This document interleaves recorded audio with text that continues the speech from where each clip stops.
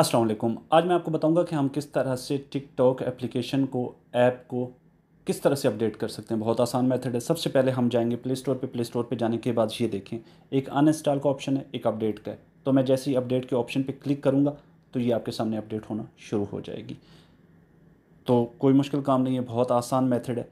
इस तरह से आप किसी भी ऐप को अपडेट कर सकते हैं। वो भी टाइम टू टाइम कोई मुश्किल काम नहीं आसान मेथड है। तो इस तरह से आप किसी भी ऐप को अपडेट कर सकते हैं, जिस तरह से मैं टिकटॉक ऐप को अपडेट कर रहा हूँ। तो जैसे ही अपडेट होती है, उसके बाद का मैं आपको प्रोसेस बताता हूँ।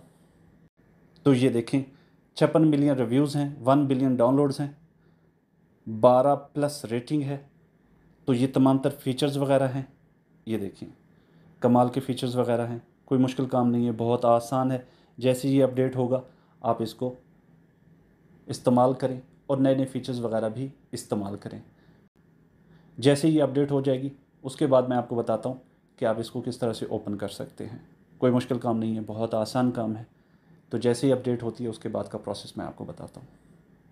तो ये देखें टिकटॉक ऐप आपके सामने अपडेट हो चुकी है। अब जैसे ही आप इसको ओपन करेंगे, आपके सामने नए नए फीचर्स इसके आ जाएँगे।